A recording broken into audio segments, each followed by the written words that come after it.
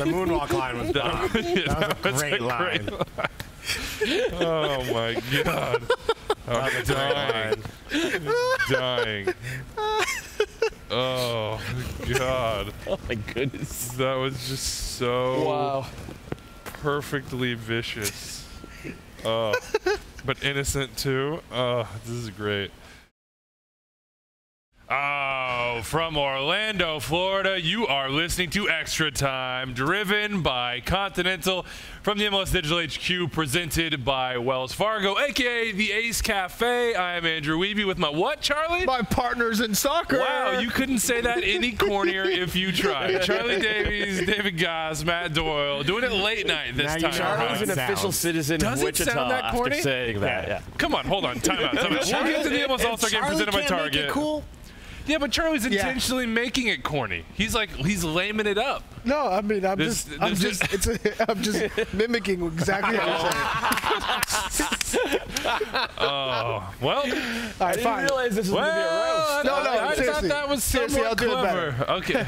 My partners in soccer. Well, that's dead and gone. That's over for me. I'll never say that ever again. no, You've Andrew, ruined it. You've makes ruined it. so I'm so you sensitive. it. You're, you're like my law firm. Ah. I consult with all of you. We are, of course, at the MLS Lifestyle Game presented by Target. In years past, this sort of show would have been done in a hotel room. Perhaps someone who's not here and whose name I won't mention lying on the floor, incapacitated. In this case, we're just really tired because it's been a long, wonderful week here in Orlando. Festivities, I mean, EMLS events, concerts, skills challenge for the first time, the homegrown game presented by Energizer, and the game tonight. I mean, it just goes on and on. and on. Turkish food. Turkish food. it's, it's yes. literally events of the highest order. yes. Yeah, Good. I'm glad that if I'm getting roasted here, at least Stu Holden is getting it as well. Yeah, of course. Because that line, to. he's got to retire that He's line. gotta- if I'm retiring gotta partners in soccer, dunk that line in yeah, the trash. he's just got to get rid of that one. We got some good interviews coming up for you. Walker Zimmerman of LAFC stopped by the Digital HQ earlier this week. So did Chris Wondolowski. He's going to talk LAFC culture with uh, with Walker, and then Matias Almeyda Profe with Wondo. He said he was a little bit nervous, didn't know how it was going to go. Obviously, it's going really well now. And then Graham Zusi stopped by, an Orlando uh, native son. He's going to talk about being a club lifer because he's been sporting Kansas City or Kansas City Wizards, depending on the era, TID for his entire career. So we'll get those in a little bit. We got a jam-packed mailbag. We promised we will get to that whole thing. We kind of skimped on it last time around here, and I felt bad about that. Shocking. Yeah, yeah. Sorry. Dave does all the work to get the mailbag together, and then it's Doyle's fault because he talks the entire time. It's true. I- I Doyle was go barely on the long. show. It was Mark Anthony Yeah. K. all It was a good interview. To be fair, I usually kind of tune out on the player interviews. Mark Anthony Kaye was really good. Go back and listen to that one Good to on know Doyle's really locked Yeah, into the show. boom, boom. He's, Athletes are boring uh, well, until they retire. Then they're fun. right, Charlie? I don't Yeah. know. I, I might disagree with that one. All right, the result here tonight in Orlando at Exploria Stadium 3 0 Atletico Madrid.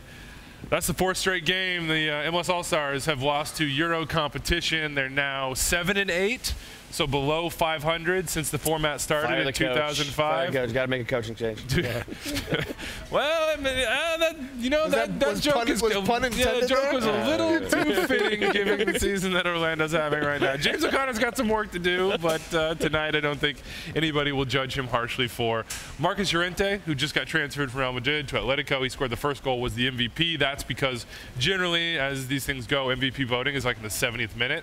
And then in the 85th, João Felix, the 150 million or whatever it is, dollar man, knuckles one past Nick Rimando, then he puts one on a dime for Diego Costa to put in the 90 plus three. So that's how you get the three nothing. Uh, what'd you guys make of the game? We won't spend too much time on this. It's an exhibition. It's an all-star game. It's really about fun. What'd you think? You were there, so how about you just take this? I think zero things about the game Okay, on the sure. field. Uh, otherwise, it was really how close? How many feet was the closest you were? to Diego Simeone? Correct. I was extremely close. Could you touch to Diego him? Simeone.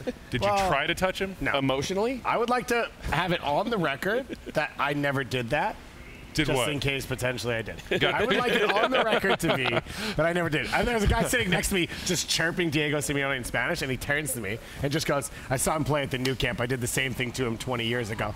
I was like, "Why would you do it again? Yeah, yeah. What's the point That's of all that?" come full, You know, full and- and circle. play yeah. the hits. That's Yeah, why. Exactly, Yeah. But exactly. Simeone just walking the sideline, getting his team compact, constantly getting his team compact. That was awesome.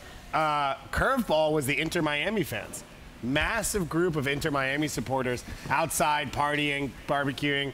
They came inside and basically filled up a whole gate and. I think security at Orlando City already hates them, so we're off to a good start with that one. Yeah, that's what you need. Just like the Orlando fans clearly hate anybody who's an Atlanta player.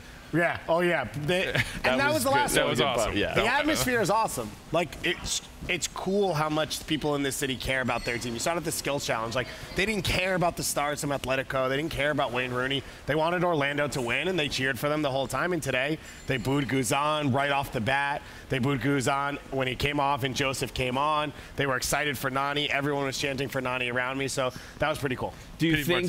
Do you think that Ooh. Orlando City would have won if Chris Mueller had been on the All Star team? Because he was probably. the hero of the skills Yeah, competition. probably. Chris Mueller, cash, give it to him. Absolutely. I saw that interview you guys did while I was gone. Yeah. He's got personality. Best he's got- interview we He's did. He's one of the rare athletes, Charlie, that has real personality. Because he went to like, Wisconsin, You can really feel it. Everyone right? knows that. See, I could pick them out. I know which guys you can get Gotcha. Everything your- you want and that's more. That's your superpower? Yeah. You I can him on tell. the field? Okay, yeah, he's got it. Yeah, he's got it. What was uh, you know anything about the game? Anything that really stands out? Yeah. Anything you want what to dig into? What stands out to me is how good Atletico Madrid are.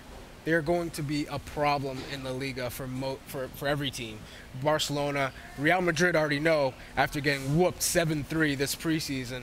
Uh, Diego Costa is a man that's is on fire. He, he wants to succeed. You could tell he wants to hit the ground running in La Liga.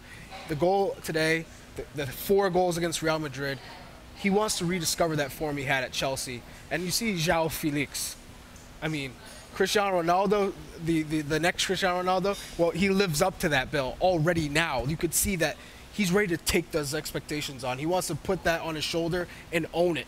That's that's so impressive for a 19-year-old to do that in that atmosphere. 20 goals last year in the Portuguese league now makes uh, just a massive, almost inconceivably large move. Uh, money-wise, Atletico has had It's really hundreds of being around him. really. Well, what are you he gonna- seems so innocent. He was like taking would've- pictures with Kaká on the field after For the sure, skills but think about this. What's the most expensive thing you've ever been around in your entire life? That's a good point. like, what if I I, mean, I've trip flown on an and airplane. fall on João Felix's ankle? It's a $133 million ankle. That's a lot of money. yeah, Yeah, but you would be celebrated in the other side of Madrid. Yeah, I don't Uh, wanna be be there. like, That's true. David You could be a hero. I don't wanna be. You be could be a hero. You could maybe that. make a career off that. I don't want to be any honest part with of you. that. Were there Don't any, you put that evil on me. any MLS All Stars that you were like, oh, this was a, I saw something interesting from them, or even just like that was a nice Uh, moment. I mean, given given the, the relationship between uh, Orlando City fans and Atlanta United players, I, I thought it was great uh, of Pity Martinez to give away so many souvenirs. Anytime he got near goal, he Oh was just no! he would, like straight into the crowd. he's throwing was daggers. So and you know, I'm pretty sure they were going toward the wall at that point Yeah. too. So he's giving it right to the It- most a ardent lot of supporters. love. It's a lot of love. Throwing daggers at an all-star was, I was there for the first half, and I was really impressed. And yeah, when they booed Guzan in the warm-ups, I turned to the, the people next to me and I was like, "This is awesome! Yeah. like this is exactly what I was hoping for from these I fans." saw some of the most cynical people that we know, like our, our good friends, like Pablo Maurer, for example, Yeah. being like, "It is loud, Yeah. in here." And everyone's and after a Yeah. rain delay, Everyone, yeah, that's after true. an Everyone- hour, well, I, I s- they were drinking beer in the concourse, For so like you know that increases the noise But naturally. behind the goals, bottom deck, everyone stood the entire. Basically, what Nani was on the field the first Yeah. 35, 45 minutes. Wayne hit a couple long balls to Nani, and I was right there watching him take guys 1v1. He megged someone, got fouled, but the referee didn't call it. yeah, what's with that? It's an all star game for everyone, I guess. I don't know. So, yeah, it was fun. All right, that's it for MLS All Star as far as the game goes. The week is what it's really about, and I said this last year, and I heard myself say it over and over and over again in the hallway leading to the Ace Cafe. Like, if it's not on your calendar, go and do. But really, you should. Wherever Wait, it are is you next year is going to be a blast. now? Yeah, I'm I'm trying sorry. to just bring a little levity here because I'm still reeling from Charlie taking something away from me that I held dear for a matter of like five months. My partners in oh, soccer. Okay, all right, no more. Golly, oh, Willikers. All right. What You guys have spent way too much time together. We're a this little week. bit punchy. We're a tad punchy. Yeah. What was your favorite moment from the week? Take the game away. Just a week overall. What was your favorite moment? Was unprepared for that question. Yeah, you were. So I'll take it. surprising. It was obviously Howard Webb and Zlatan having a having a little chat. Was it on Tuesday at All Star Training? Yeah, it was up in and the Zlatan concourse. gesticulating and Howard Webb trying to explain God knows what to him. Probably something about elbows and the side mm. of heads and whatnot. Yeah. But that's just like one of those moments that, as an MLS nerd, as a MLS now referee nerd, I look at that and I'm just like, I just I want to know everything these guys are saying to each other, and it would happen nowhere else but the All Star game because this is where everybody just kind of gets dumped into a city, mixed together, and all these weird, bizarre meetings and conversations and happenstance happen, and to have just days after the controversy, Howard Webb and Zlatan face to face. Working it out or whatever they were doing. That was just a brilliant moment. Uh, I'll give you a little cherry on top. He walked down and then walked up to Bastian Schweinsteiger and said, "Hey man, for a 70-year-old, you look pretty good." it was a shot from Zlatan Just, uh, fast. he was out there just pinging guys. Both those guys at Man U together. Yeah. What do you th- What do you think? For me, it's E EMLS. The EMLS event here, Bion West, the director of EMLS, continues to put on these unbelievable events. EMLS Cup was a hit. And you come here, the place is packed. You had uh, Alvaro Morata and Vitolo down here playing games against some of our EMLSers. And the vibe was good, the food was good, and you just had that. This is the, this is the place you want to be. That's what I ex- uh, expect now going to an EMLS event to be entertained and for everyone to get along. The nice thing is about events like that, and just the whole thing, you can actually see that Atletico Madrid players, they really enjoyed it. Yeah. Which sometimes you think like these guys come in, they're in preseason, they're being asked to do a lot as far as media is concerned and like promotion. Mm-hmm. They might be a little cynical and just be like, meh. Not about meh, trying to go to dinner, trying to go to the hotel and just like sit on my phone. No, every time I saw Atletico Madrid players, they were smiling, they were into it. They're like, "Whoa, this is kind of crazy." Anybody going Nani? Anybody going Skills Challenge? Because that's the thing I think ultimately everybody will Yeah, I, remember. I, I think, I mean, that was going to be my answer, but the reality is my favorite part now is when Charlie roasted you at the start of the show. Can we can we replay that? Can we uh, maybe just close the show with that Anders, our well? producer, producer Anders, has actually been in my ear this entire Right. time, laughing, telling me we're absolutely clipping that. It's the first thing I'm pulling out to distribute to the masses. Uh, I will remember that moment forever, but like the Nani thing was so cool because I. I, I'm a, I'm a pretty skeptical guy. You may have noticed, and I like the skills challenge. I wasn't feeling it, and within like five minutes, you could tell that the players out there, like, okay, it wasn't just about putting on a show, like, it was competition. Like, as soon as they got the fire in their eyes, then I started feeling it too, and I think the crowd started feeling it, and then gets down to the end, and like, the, the last. The last skill was essentially crossbar challenge, and Nani pinging it from midfield as time expires for the win. That was dope. You It couldn't was. script that better. Absolutely couldn't that And I, better. I, I want to see what is next year because this was the first go round. It's where you work out some of the kinks, and to get that result is just like it's magic the first time. But they can make it better. They can find ways to kind of hone the events, the process, the broadcast, everything else. And I, I have to add mention, a team. yeah, legends. Legends. Legends. Can we get Cuauhtémoc in here? I know he's got duties as a mayor. Give me Valderrama pinging Yes. balls at targets. I think you need like a legend from the first David era. Beckham. You need the mid era, and then Legendary. yeah. Oh, and Inter Miami comes in. It's perfect. Yep. Bring money. David in. All right, next year. All right, Done. There it is. Let us know All who you want MLS Oh, legend. wait, Fellini, wait, wait, get it done. Owners too, because you get David in and you can get Mia Hamm, and then there and James Harden. There's the owners Oh, group. wow. as my well. God. Steve Nash. Now we're Steve na- Nash oh wow. Now we're rolling here. Yep. Yeah. Yeah, guys, Cons- you know, All right, you can pay us later. You You can can us- send the consulting us later. fees to us. You can make that out to Andrew Wiebe, and, I will distribute it to my soccer. partners in soccer. All right. Uh, look, it's been a great week. We had a lot of fun here, uh, but MLS doesn't stop. Uh, we'll get to the big games of the weekend here in just a second. You got a big one on Fox on Saturday at 5 p.m. Atlanta LA Galaxy, New England LAFC, and then on Sunday you have a triple header on national TV, ESPN, and FS1. We'll get to those in just a second. We do have some mail from the All Star game. I'm going to get to that before we get to the rest of it. Luke from Waterloo, Iowa says, I'm sitting here watching the All Star game as Pomykal and Barco are about to get subbed in together. So the question is Pomykal or Barco? Who's better right now? Who will be at a better club, a better situation in five years? Who will be the first to get a senior level national team cap? That last one he says is for you, Doyle. I want to focus on the first two. Who's better now? I'm guessing maybe people are going to say Pomykal. I don't know. Maybe we're biased in here. Yeah, here. it's Pomykal. what do you say, Barco or Pomykal? Barco. Okay, so we have a split there. That's okay. I want to know who's going to be at a better club, better situation in five years. Make your predictions. I think Pomykal's just a better player all around. He's a much better defensive player. Like he's an elite, nearly Tyler Adams level defensive player, but then he combines that with the ability to be a, a high level distributor going forward and combines well around the box. I like, look, man, there's already big clubs after Paxton Pomykal. Now he might not go for as big a number as Barco goes for because having an Argentinian pedigree matters in the world transfer market, and that, that's just the way it is because we haven't developed a ton of high-level players. But I think what Pomykal's done, his ability to conduct a game, to influence it on both sides. I don't see a ton of weaknesses with him. For Barco, as gifted as he is, and he's really gifted on the ball, he does that Nagbe thing where he will eliminate defenders off the dribble. And then rather than make the killer pass, he slows down, he lets them back into the play, and he plays sideways. He if he's going to be an attacking midfielder, he needs to make better progressive passes. If he's going to be a winger, he needs to stretch the field vertically. He doesn't do either of those things. So I worry about where he would fit at a big club. I think he's changed uh, a lot uh, in a lot of ways when you look at this season compared to last. This season, once once actually he came in as a, as a substitute in the first half against New England Re- Revolution on the road, banged two goals, he took off. Unfortunately, injuries have derailed that, that progress that he's shown throughout the season. Hit the U20 World Cup with that banger uh, volley. He's he's playing with confidence. I feel like this DeBoer system fits him better than than what it did with Tata Martino. So he's thrive. He's he's one of the players that I look at is thriving with De Boer as coach, and he, he needs to be on the field. Needs to be healthy. And I think once he does get his fitness back, this Atlanta side may start make, making those strides.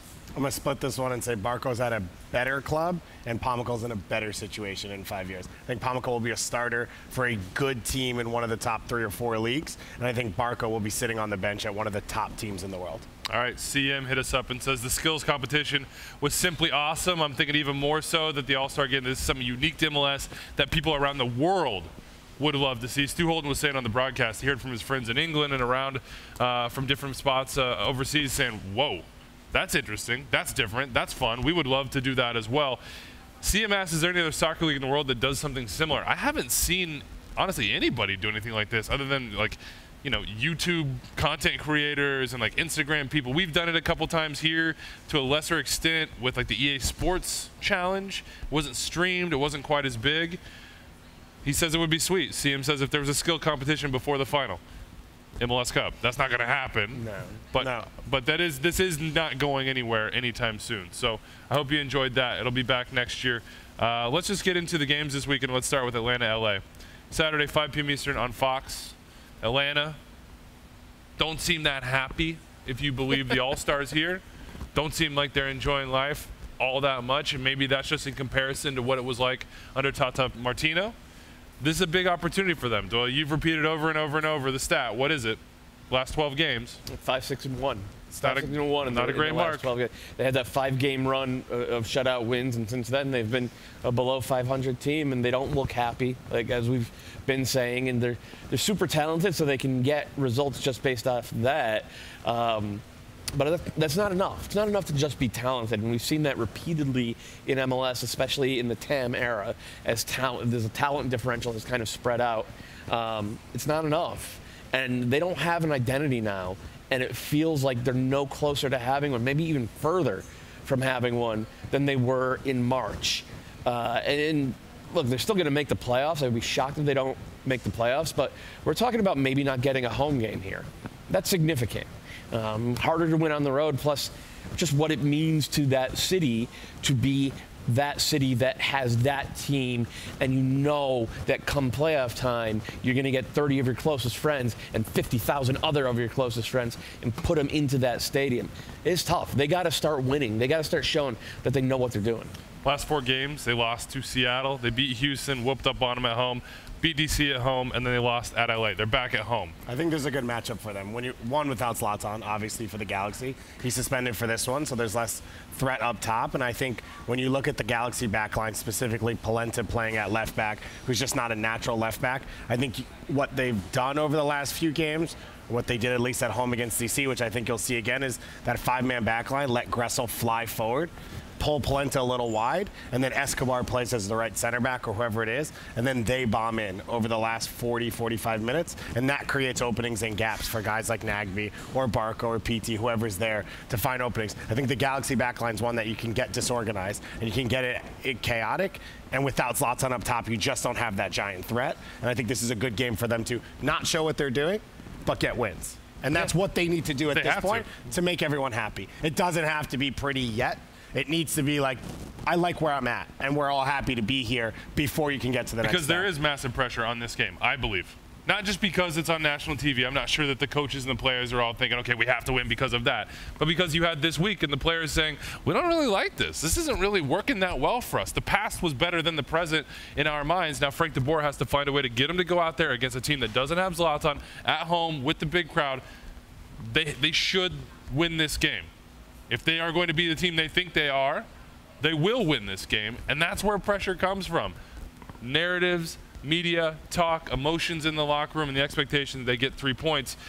New England at home against LAFC, Charlie, though, feel like they're just kind of they're going to play without any pressure because they got the Supporter Shield leaders in town at 7:30 p.m. on Saturday on ESPN Plus. They're 11 games unbeaten. If they lose this one, it's just a blip, and it's to the best team. It's a huge opportunity for Bruce Arena to put one over Bob Bradley, by the way, but also to show his the team. first ever babysitter of his kids. Wait, That's who? What, he What? Said this week. Wow. Who? Wait. Bruce said that about Bob. Oh, I thought I was like Yeah. Charlie. No, Charlie. I was like Bruce Arena was Charlie. watching How old do you Charlie's kids. What? I'm Benjamin Button, actually. yeah. Um, no, I, I think that when you look at this match, it's not it's not a six pointer. Doesn't mean that much to LAFC. However, it means the world to New England because if you do win, now you have that inner belief that we can play with the best. And I don't think they quite think that they can compete with the LAFCs and the Portlands and the Seattles. But if you win this game, all of a sudden that belief really is sparked inside that we can make a run, we can play with the best, and that we are a great team. We have a great team. We're tested now, and that'll be 12 games unbeaten. So this is one of those matches where you look at a Carlos Gil and what he can do for for New England Revolution. Carving, uh, carving out space for players like Teal Bunbury, who's made, uh, you know, great runs in behind. He's been finishing his chances. Uh, uh, Cristian Penilla has really excelled under Bruce Arena. Bruce has been able to push guys and get them to play better. Cristian Penilla has been very inconsistent. He's one of those guys that has been a spark off the bench. Then when he started, he- he's he's been good, but then he's he's got lost his his pace. Hasn't been as aggressive. Now he's getting them to be gr- aggressive for 90 minutes to push the envelope. They're winning games by three, four goals. That was unheard of before. Now they know, okay, we can score goals and we can also shut out. Matt Turner has the best goals against average over the past month and a half. That's that's remarkable that he's been able to turn this whole thing around from the back and up top. And so when you look at this midfield battle, Carlos Gil, uh, Atuesta, and Mark Anthony Kaye, what's going to be done there? Are they going to sit back and look to counter counter press? Is is New England going to sit back and just and make it compact, make it tough for LAFC, and frustrate Carlos Vela because everything is going to be on on Carlos Vela. All the attention is going to be on Carlos Vela. Can Rossi have a big game? That's when they're going to need Diego Rossi to really step up and score goals. I love this matchup for a few reasons. One, we always get asked, and I've had it a few times this week, is so and so for real? You know, are the Revs for real? Right. Whatever team. LAFC at Seattle at Red Bulls. That's the next three games. They're going to find out themselves, and we're all going to find out. They're going to prove a lot, or we're going to figure out that maybe they're a sixth or seventh place team, which is also still a huge improvement in the Eastern Conference. One of the things I question with the Revs is when they're not going downhill, when they're not the attacking team, how can they do? Because they play pretty much two or three fullbacks that are wingers. And so when you talk about Vela and Rossi, this is a chance to see those guys under pressure. How does Brandon Bye defend 1v1? How does, is it, whether it's Jones or Castillo, how do they defend? And then is there enough help at center back to do to help them out to survive these matchups? We saw the Galaxy do it against Vela with Polenta, which I was shocked to see, but they were able to do it, and Jonah was a big part of that, helping from the middle. So I think this is a fascinating matchup, and these this next three weeks for the Revs is going to be huge for what 2019 is. That's the Revs side. For the LAFC side, let's go to Walker Zimmerman. He stopped by the MLS Digital HQ, presented by Wells Fargo on Monday. Let's take a listen to that interview now. All right, let's keep the All Stars rolling through here. Walker Zimmerman joining us in the MLS uh, Digital HQ presented by Wells Fargo. Walker, to start you off, which Barca player are you? Mark Anthony Kaye says he's like a mix of Busquets and maybe Xavi or Iniesta. So when you watch film, are you Piqué? I are mean, you? I guess I have to be, right? You don't get it. Bob has not made a comparison. Uh, no, I think we, we have watched some clips of Piqué, um, watched some of the, the movements that he does, his footwork. We focus on that for 1v1 defending. So um, I, I would say Piqué, yeah. Were you a Barca fan before? Yeah, I was. Um, it's it's always fun to watch them, especially back when when they were kind of on that run where they were just unbelievable. Um, so got to watch them a lot. Um, Now you watch now them we watch them quite often uh, in film. We watch them, Man City, Liverpool. Those would be the big three teams that we probably watch And all the who's your- time. who's your favorite center back to watch? Um, I like watching Sergio Ramos too, to be honest. I really. Especially especially watching his uh, set pieces. I like I like watching his movement on set pieces. I think he has a knack for finding the ball, and it's cool to see like the way he changes it up. Um, but I certainly don't go into as many reckless challenges as him, uh, or drift maybe as much as he does. But I think it's it's always interesting when you watch him play. So take us into your mind on a, a set piece. It's a corner kick.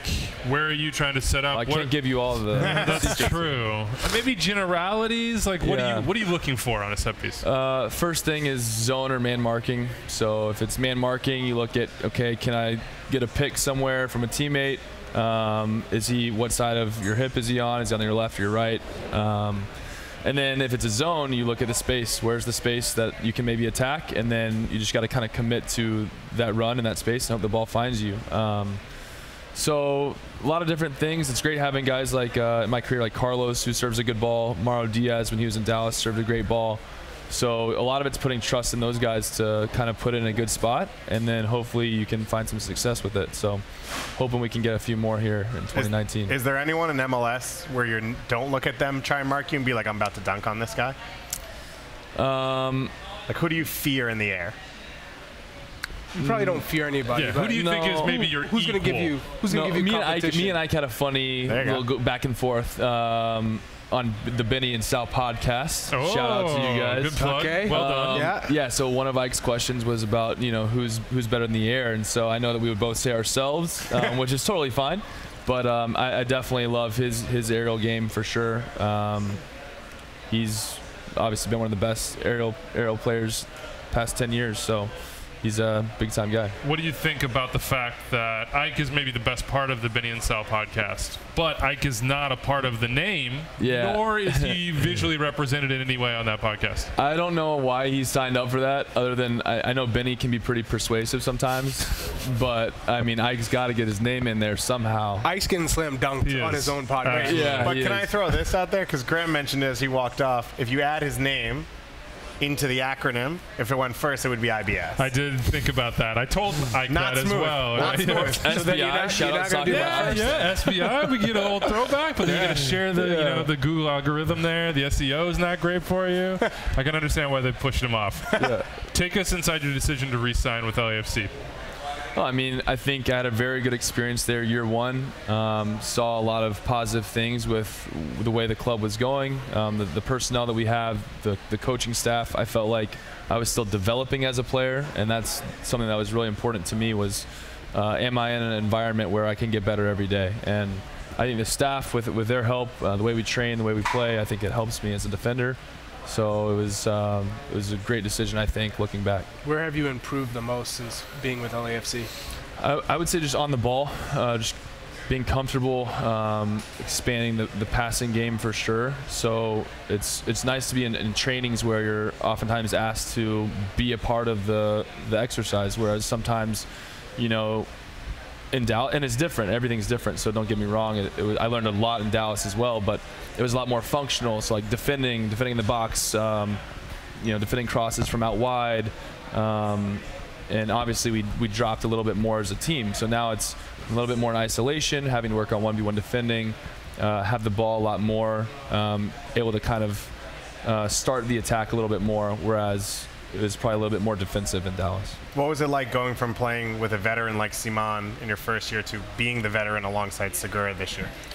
Well, I think, you know, feel comfortable around around anyone I'm playing next to. Um, to be honest, um, had had some good fortune playing against some quality center backs my whole career, starting back with George John.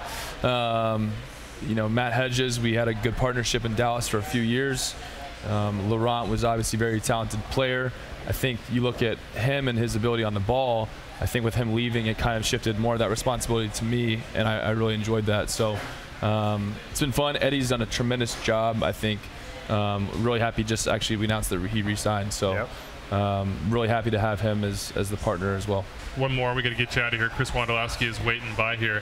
LAFC presumptive favorites for the Supporters Shield. You guys got a big lead there. Same thing goes for MLS Cup. MVP for Vela. What's it like to be on the inside of a team that's making history? It's a lot more fun for sure. Um, when you're winning, the the vibes are good in the locker room. Everyone's has a good attitude. Everyone's getting recognition, like you mentioned. Um, so so guys are happy about that. Um, I think ultimately we know that we're, we're far from securing anything, and so we have the mentality to keep going, win a supporter shield, and, and clinch that number one seed, which will help us in our run to the MLS Uh, Cup. we're not ending with that. Yeah, I This have one to- weekend, yes, thank you. you're taking on New England Revolution. Yeah. 11 games unbeaten. Right. Wait, don't So go there. They're they're the hottest team in MLS. You're the best team in MLS when it comes to points. What do you what do you need to do to ensure that you get three points against the New England Revolution? Yeah, they, they've certainly been incredible to watch uh, this past past little stretch. Obviously, since Bruce took over, you just feel a different energy about the team. Uh, they're dynamic in the way they're going forward. Um, Gil's been incredible. Uh, Bunbury's finding form. Agudelo playing a little different position. So these are all players that uh, have always been really talented, and now they're kind of um, coming into to form. And so for us as a team, we got to focus on what we do well: counter press, uh, stay high, be aggressive, create chances going directly to goal, and then uh, looking forward to that's going to be a really good game again. Um, so now we've got a good good stretch where we played, you know, Galaxy, uh, Atlanta, New England. It's a good stretch for us to, to really find out what we're made of. Cameras are off now. How much has Bob talked about Bruce? These are the two two of the godfathers of U.S. soccer. I mean, they obviously had that relationship going way back, you know, to Virginia. Um, but honestly, not not too much. Um, I know He's keeping it internal. that- yeah. It's yeah, internal. Yeah, I He's think fired so. up for this I think one. so. I think it's kind of a, a personal war. You know? Yeah. I think he feels that way about like any of other coaches that's like getting some hype. So like anyone who takes over the national team ever, he's like, ah, well, back in my heyday, you know, like, Yeah. well, the way I do it is differently. So I, I think he always has that kind of edge to him. Um, and I'm sure watching Bruce's success, he's like, oh, I gotta crush him. So A lot of people have good Bruce uh, impressions. You got to work on your Bob impression. uh, yeah, Well, look, uh, the, way, the way that we play is sharper, more fluid. Uh, these are the football ideas that we work on every day. that was actually Yes, spot that was yes, on. Let's yes. I did not intend for that to come out, but thank you to Walker Zimmerman for sharing that impression with us and a little insight into LAFC. Thanks, Walker. Thank you. thank you guys. Big thanks to Walker Zimmerman for stopping by. We will get to Chris Wondolowski in just one second. But before, the Toronto Duck has a little mail for us. Who has the more unexpected season, New England or San Jose? Which one is the most shocking? San Jose, uh, when you look at it from the start, but I think over the course of these 11 games, it's got to be New England. I think it's got to be San Jose. This is a team that lost their first four games. They didn't make any changes. They were hot garbage last That's year. not true. Horrible. Horrible. They didn't make many, but they didn't. They made okay. They made None. some. They made some, but they weren't moves that were like, boom, this No, is going to explode. This is going to change your team. team. No Christian- earth-shattering moves. Yeah, Cristian Espinoza, yeah, he, he should improve them. Marcos but they were so bad before that you're like, well, maybe that might get them into like playoff line zone. Right now, they're at 37 points. They're tied with the Galaxy. They're rising. Nobody wants to play this team. They completely believe in themselves. To me, it has to be San Jose. He's like an MVP Yeah, Vako candidate. looks like an MVP candidate. Now, maybe we should have seen this coming because of what Matias Almeyda has done in the past. Couldn't have seen this. couldn't have said, I mean, like, he, he's been an amazing coach, obviously, in Argentina and then with Chivas, but, like, especially after those first four games, Wondo looked washed. Wondo's out of the lineup, Yeah. making huge changes at the end of March, and, like, just try to stay afloat and maybe get 25, 30 points this year. And he made two big changes. He put Florian Jungwirth back in the center of defense and put Jackson Yueill in central midfield. And those two guys are arguably the two best passers in the league at their respective spots. And their ability to distribute has suddenly spread the game out. When they spread the spread you out attacking wise, they're able to envelop you. And they're able to do that and then create chances by playing those diagonals to those to those wingers. And it's been Vako, you're right. It's been Espinoza, you're right. It's been Shea Salinas. Shea Salinas had six goals and three assists this year. His previous high, career high for goals was three. And he got all that to happen. But then he also kept the locker room because taking Wondo out of the lineup was a huge risk when you have a guy like that who has meant so much to that team. Benching him, it, it took, we know the word, and, and Almeyda has him. And he got Wondo to stay bought in the whole time. And not just Wondo, but those other veterans as well. So that when he needed them a month later, they were there. And Yeah. that's how, I mean, they, they're 1 through 25 now, man. They have a huge roster that everybody has contributed, and nobody could have seen this coming. Let's get Wondo's perspective on Matias Almeyda right now. We spoke to him on Monday right here at the Digital HQ. Chris Wondolowski sitting down with us now. Chris, Profe, I will run through that brick wall directly in front of us for Matias Almeyda. Will you join me? I'm uh, joining with you, no Right doubt. Exactly. yeah. I'm, I'm, I'm in. I'm, uh, I'm all in with Matias. He's, he's an amazing man. So take us behind the scenes. Just what, what was it like when he was hired, and then we'll go from there because that's a huge name and it's a completely different sort of profile. Yeah, absolutely. You know, I didn't really know what to expect. I mean, he has a great resume. Uh, you know, obviously he's won championships. Um, you know, I was very interested to see how the dynamic was going to work with him. Uh, you know, speaking Spanish only, and um, no, but it's been great. Uh, from the first day, he sat us down, and from day one, uh, I've been all in. Uh, he's very charismatic and a guy that you want to play for. Is he, is he hands-on on the field in training, like tactically? Yeah, absolutely. He, he has a great staff, but he's very hands-on, uh, especially during when we're playing. When we're playing, he's uh, he's all all about it, showing us where we need to move the ball, where we need to be. Um, again, yeah, he has a great staff. He has a strength and conditioning coach, Guido, and he's one of those. He's a hard he's a hard guy, and uh, but at the same time, he's one of those guys where you want him to respect you. So you do whatever it takes. It's a it's an amazing balance, and it's uh, it's funny to see. So when you see him come in, do you have the did you feel the pressure to impress because you're starting from scratch and you're the you're the goal scoring king in MLS, but you you got a new coach and he doesn't know you that well. So did you feel that pressure? Yeah, absolutely. I actually felt it more than I ever had. Uh, you know, coming off a year where we are dead last, and uh, you know, I'm getting older and knew his style, knew his. You have to be very fit. You have to work hard. Uh, you have no idea if he's going to like you or wants to bring in other, uh, you know, other guys. And so it was one of those where you kind of had to prove yourself again. And uh, I like that challenge, but at the same time, you never know what's uh, what's going to happen. You said fitness, and I think that's the word that I think of when I watch you guys play right now. I mean, it's a beautiful style and it's like aesthetically pleasing, but I'm like, how are they running this much? Yeah. Guido is the perfect name for a strength coach. And I heard he, Exactly. two a days in Mexico to start Oh, the year. Yeah, we had two a days, uh, sometimes even three with the gym session there. It was uh, it was unreal. It was it was beautiful Cancun, and uh, didn't get to see the beach. Or when we were at the beach, there was a beach runs, uh, you know, in the deep sand, and uh, but at the same time, it's it's paying off, and it's one of those where we're finally now able to see the results. And he preached this earlier. He told us that when you guys do become one of the fittest teams, 75th minute you're going to wear teams down. It'll end up three, four, nothing. It'll a team will get a red card because they'll hate just having you next to them the whole time. And um, it's working. And it's pretty cool to see, you know, it all coming come, coming out to fruition. You've played this game for a while. He comes in and has a different idea of the way the game's played, different style. Yeah. At some point, was it like this makes no sense or this is super weird? Um, yeah, it was definitely different just because you've had so many, guess, core values. You know, you, you have your two banks of four, and you know you got to stay in the straight line and make sure you you all push up at the same time.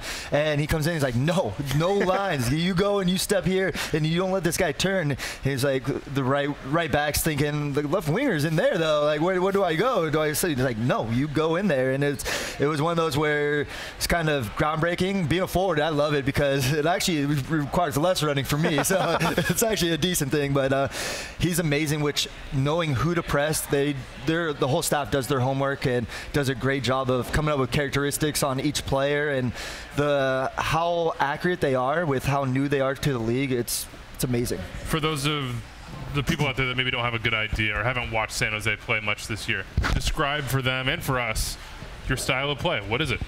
Yeah, I mean, I.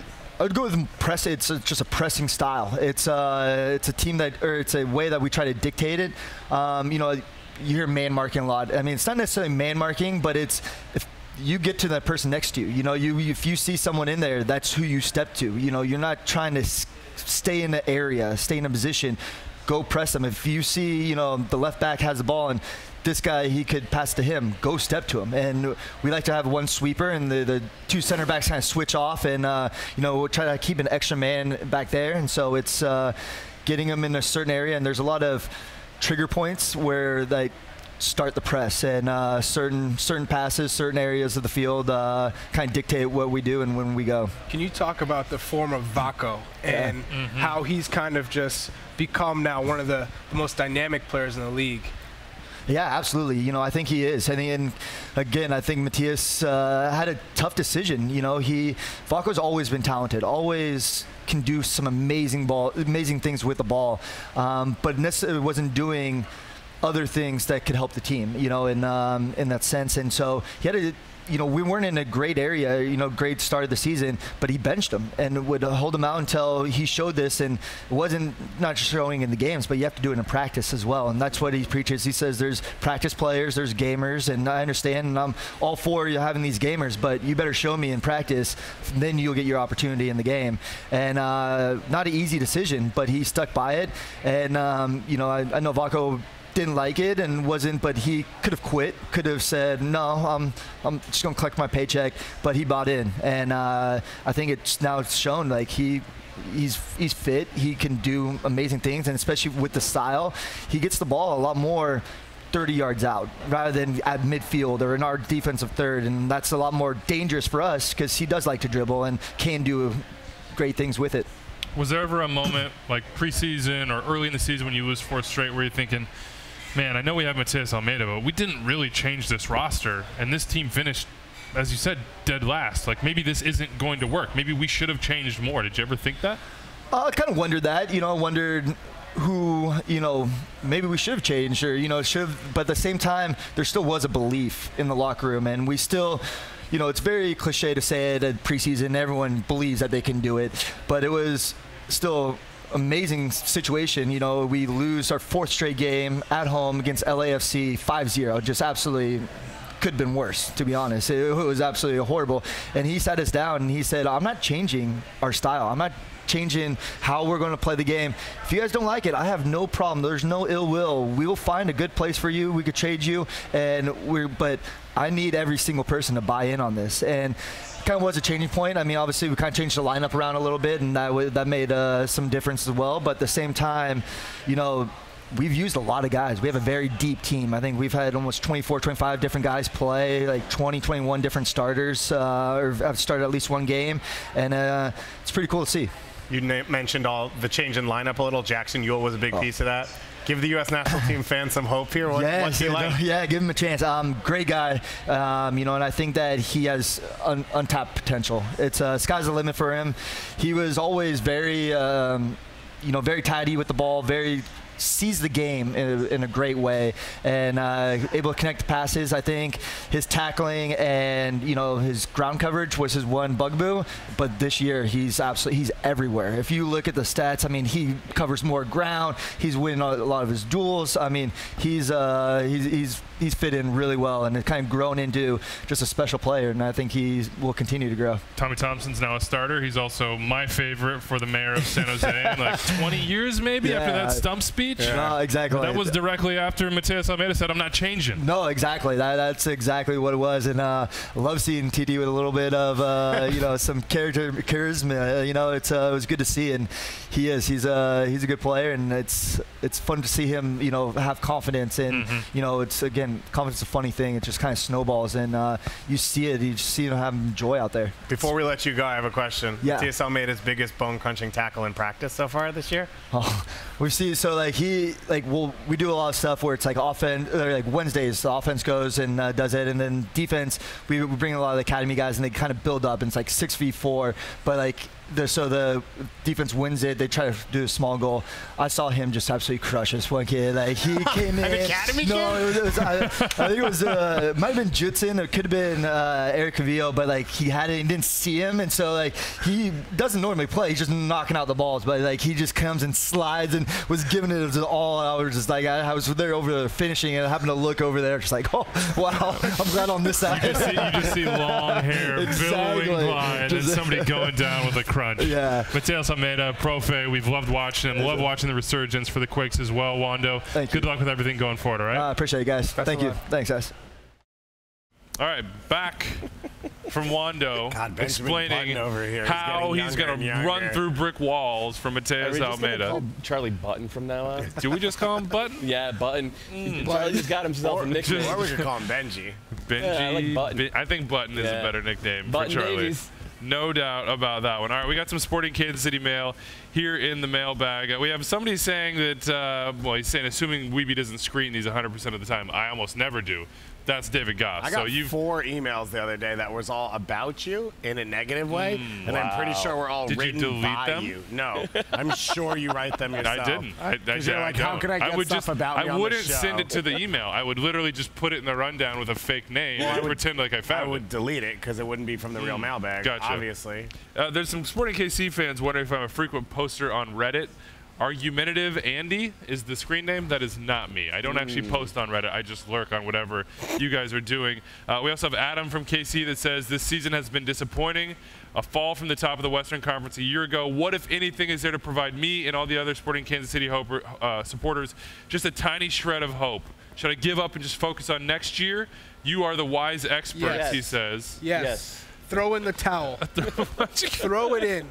Throw in the towel. This team i- is a shell of itself. Button's out here digging graves. I, I, I was the one holding on to hope for this Sporting Kansas City team. I was like, they are, they have so much experience. They have some Uh. talented players, but throw that all out Yeah, window. man, this It's roster done. is looking like the beginning Hopeless. of Benjamin Button's life, just shriveled, just, Yeah. just Hopeless. unable to keep up. Yeah, it's not. I mean, they, they made.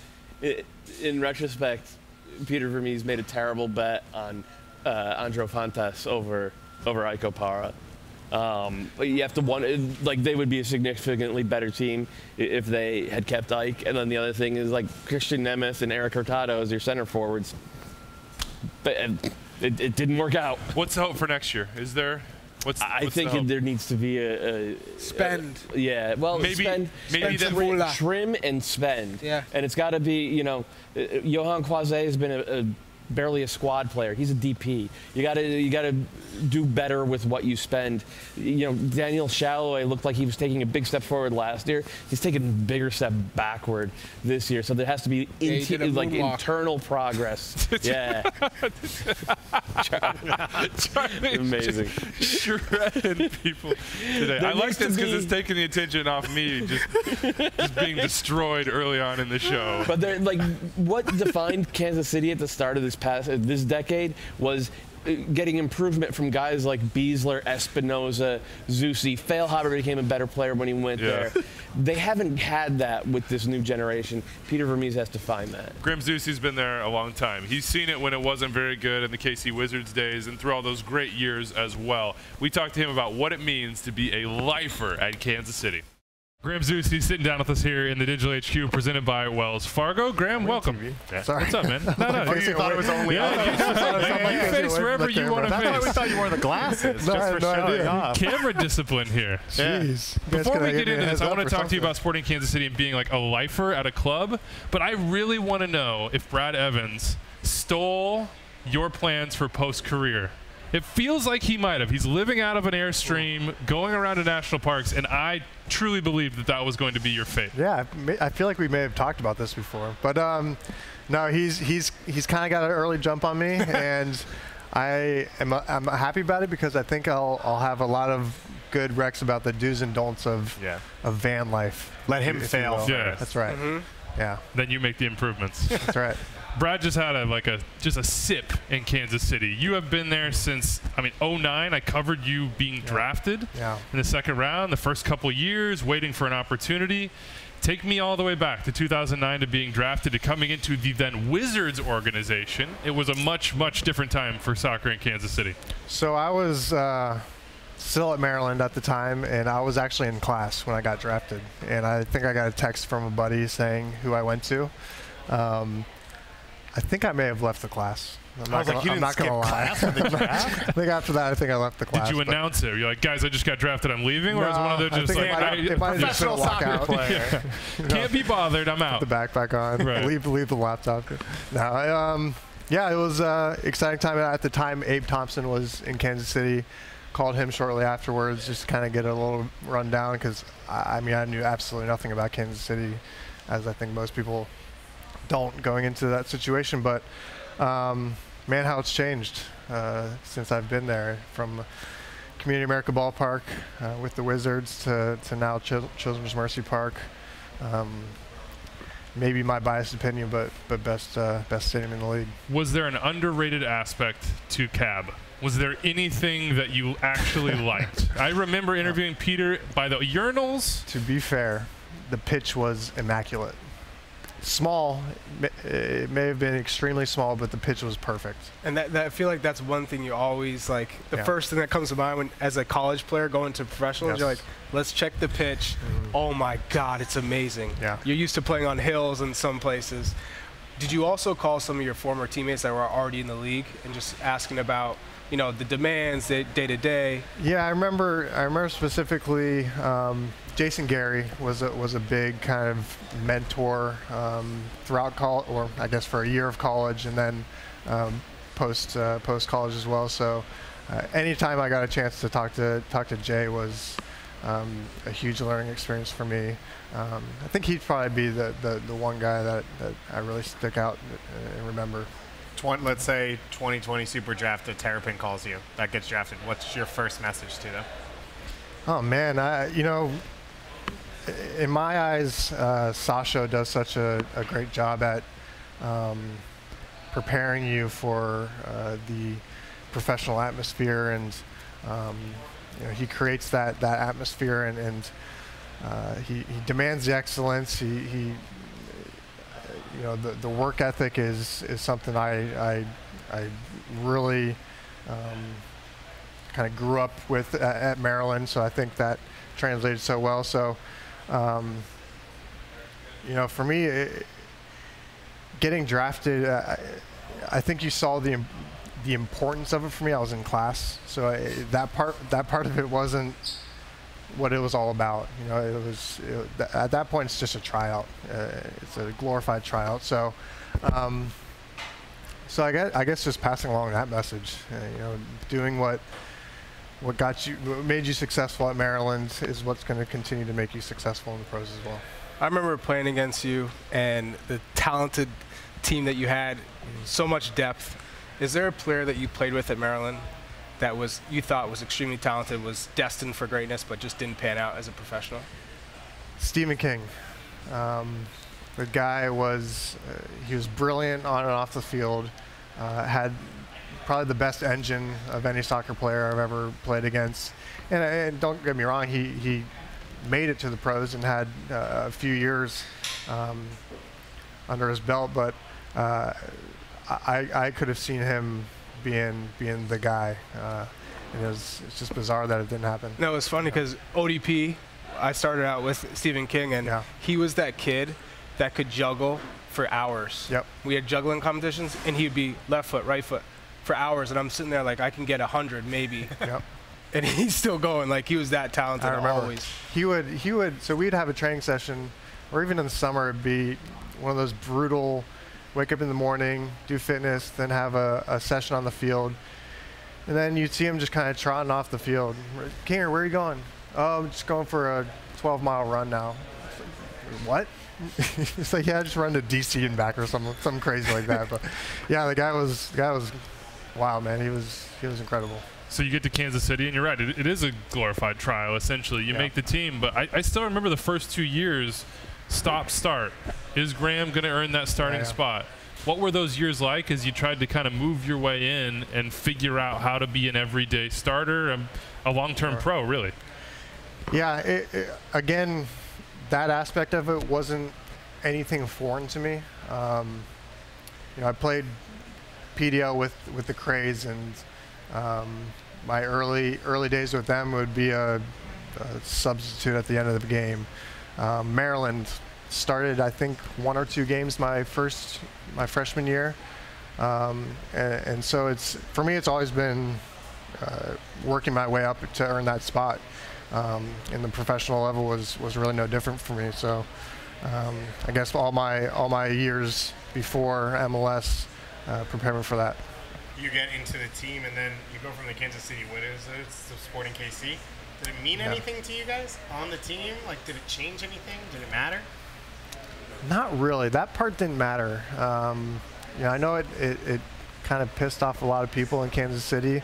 Um, but but that part of me, the, the stadium was was everything for me. You know, that having something of our own, um, uh, you know, a, a true fan base that, that got behind us after after uh, they built that, and um, for me, that's when it all kind of kind of turned around.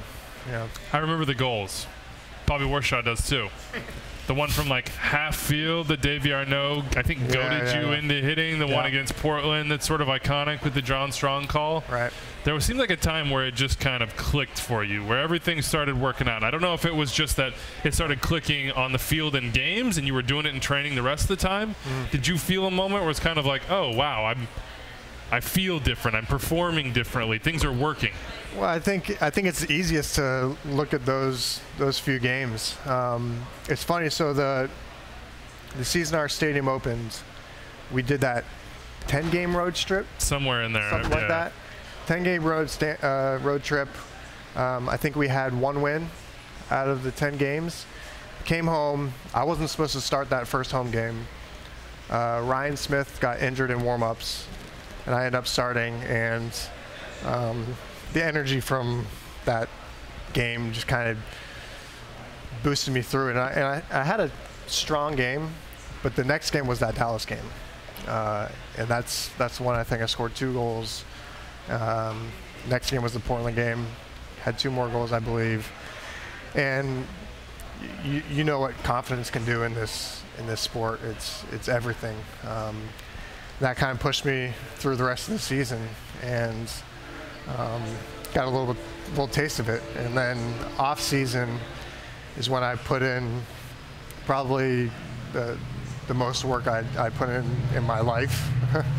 so it was it was getting that little taste of success and on-field success and, and being in that starting lineup um, that made me never want to look back. So So when you go through the whole process of building yourself up, yeah. now you're you're hitting the ground running, you're high. When's the next time that you felt a big drop, like not rock bottom, but a, Sure. a big piece of adversity in your career?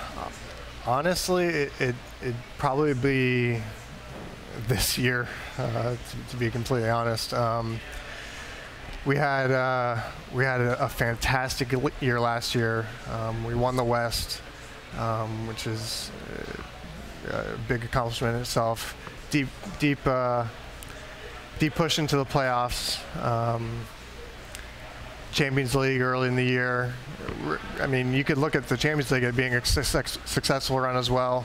Um, the way we went out was a little bitter, but um, yeah, for for whatever reason, we, we kind of hit this hit this lull in our season, and um, typically our Kansas City teams have been very good at uh, scratching and clawing our way out of it, and um, for whatever reason, this one's just lasted longer than uh, than we would have liked. So. Um, this has been a, uh, a frustrating year um, for myself and, and for the team. So, um, but it's not over. I, So I would have thought you would have said uh, switching to right back. no, that rejuvenated my career, man. Okay, okay. I, I feel good about that. That was a that was a fun move, especially with, with Kansas City the way we play. It's uh, it's been a lot of fun. So, um, but no, I mean, look, the the season's season's not at, uh, over in our eyes. Um, we all know what teams can go on runs, and, and a lot of times the team that's that's hot in the end of the year does well, does well in the playoffs. So um, that's got to be our motivation. All right, Graham. We'll look for you in I don't know five years in an airstream somewhere. Five years, easy, man. Let's make it seven. Seven. All right, Okay. seven years. I like that. I was I was thinking somewhere in between. Seven more years for Graham Zusi. Thanks for stopping by. Cool. Yeah, Thanks, appreciate guys. it, man. Yeah, thank you. Now that we're on YouTube, Charlie, I think uh, you're definitely going to have to moonwalk your me? way out of this at the very end of the show. we'll we'll save it for that. We got a little bit more mail coming for you right now. Uh, a question from Andrew in Brooklyn that I swear to God is not me. It is not me. I didn't do it. at the Yeah, sure. game Yeah. working, and you're now putting together the mailbag. This was in, this was in. Monday's mailbag. Brooklyn. This was in Monday's mailbag, For which sure. you put together. Did you see it in Monday's mailbag? I did. I did. Did you I'll see go- it in Monday's didn't. mailbag? Well, well, oh, no, right, so if it's it- your word against mine. Gas man, if it's about KU basketball, then we'll know. It's not. It's a question for Bobby or Charlie or Is Paul- Kaylin. Oh, guess who was at the game today? Paul Pierce? No. I hate you. Drew Gooden. Oh, Whoa, Are you real- are you actually- No, I have a picture of okay, him. okay, okay. 100 I- he took a I selfie actually- with him, I Yeah, I, I wish you, you should you should have told me because I definitely would have taken a selfie with him. I forgot that you went to Kansas. Oh wow! It just I have a baby too. Did you know that? uh, this one's for you, Charlie. Do players know when a game is nationally televised, and does it change the intensity or focus brought to the game? So we talked about this earlier with with Atlanta. Would that matter to players? Would they think about that? Would that actually increase pressure or? Oh, players know when it's on national television. You show up, you know the bright lights are on. Cameramen are coming in the locker room. They're they're eyeing you and putting on your your, your cleats, and everyone's you know making jokes and cracking banter. And you know everyone's everyone wants to talk about this game after. You want to have the highlights. You want to be on ESPN. You know those are the games that everybody's watching, especially the small market teams. So if you want to make a name for yourself, you show up in those So games. I have a question. National TV game. That was good. National TV game. Do you guys all pitch in and bring a barber into the locker room to get cut, or does See? everyone have their own now, schedule? See, now he's getting it. yeah. national TV games, you, you best clean. believe the night before, everyone's in the barbershop. Everyone. Maybe the night, the, the day of, morning of, barbershop, clean shave, ready to go. You talk about putting your cleats on. You always see those shots in the locker room. Mm-hmm. How, How se- how set up are those? Do you know they're coming? Or they're like, Charlie, we're gonna get you. We need you to like keep your cleats off. You- you- they're gonna get you. Yeah, you have a feeling it's coming because you see the guy posted up and he's kind of like just hawkeyeing you. Yeah. And everyone knows, like, okay, he's been on a hot run. They're definitely coming in to film you. And as soon as it, it gets going, that's when the comments come flying from left and right and center, from every locker. Guys are like, "Hey, look at, look at him, look at him, look at, look at him. He's nervous." So, you know, and it, it, it's Oh, it's man. always funny. You're trying to keep a straight face, like putting on your. Yeah, try not to But screw up normally the you loop. can't. I could never keep a straight I, face. I only do bunny ears. I've never actually learned how to tie my shoes in an adult way. Loop-de-loop and So I would. I would definitely be the person that was like, don't put me down there. I don't want the, na- the nation to see that I don't actually know how to tie my shoes. Last one before we get out of here. Uh, this one's from Jed. Says, what's the benefit of having two transfer windows as opposed to one transfer deadline like other sports? it's just the way FIFA works.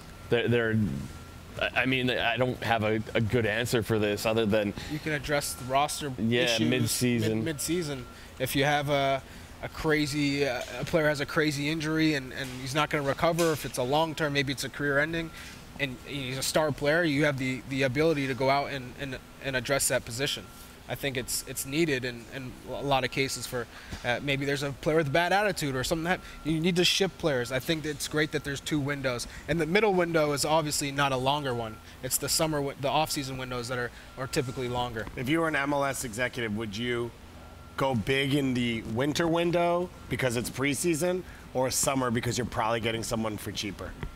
I'm going winter because I want my player to have a full preseason and, and get it, get to know his teammates, so you can you know you get all those kinks out before the season starts. All right, that's it for us here today. Uh, this weekend, week 22. A bunch of good stuff. Dave, Lori Lindsey, and I will wrap it up on Matchday Central on Sunday. Five really, really good games among many Wait, are you important hosting games. that, or is, is Gasman? I don't know. Lori's That's a good it. question. Lori has Oh, that's good fine. point. She's good doing point. all midfielder, so she's going to host Uh-huh. it. Right. And, and Yeah, now so box you're, to box. you're not, are you going to go to to the box. board? I'm serving hummus in Okay. the green room, yeah. and I think we were just cleaning shoes. That's Yeah, fine, yeah. Just the right. boot I'm just guy. practicing tying my Yeah, shoes in yeah, the back yeah. room. We're just gonna have him Just gonna learn. have me practice tying We're shoes. worried about He's gonna- Cam's he's Saturday, 5 p.m. Eastern on. Fox. Atlanta and the LA Galaxy, 7:30 p.m. Eastern on Saturday. You have New England LAFC, Bruce and Bob on ESPN Plus, That's and the then big one. a triple header on Sunday. 4 p.m. on ESPN. Minnesota, Portland, 7:30 on FS1. DC, Philly, 10 on FS1. Seattle and Sporting Kansas City. We're getting out of here for the last time. My partners in soccer. Thanks, guys. See ya.